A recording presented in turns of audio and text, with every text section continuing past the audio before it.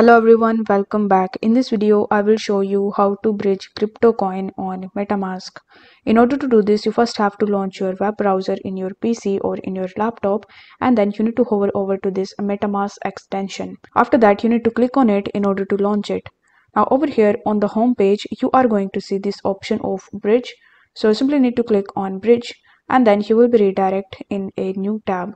Now over here it will ask you to first connect your MetaMask wallet with it. So you will have to click on connect wallet and after that you need to connect your wallet with it. After that you will have to select the two network. For this video I have selected Arbitrum. Then it will ask you to select the token that you want to bridge. So let's say I want to bridge link token.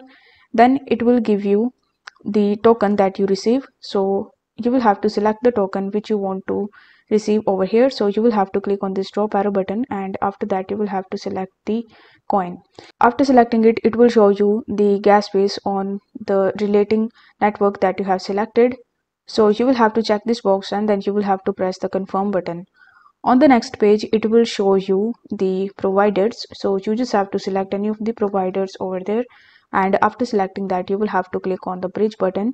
And this way you will be able to use the new feature of bridge on metamask. So if the video was helpful then don't forget to like the video and subscribe to the channel. Thank you so much for watching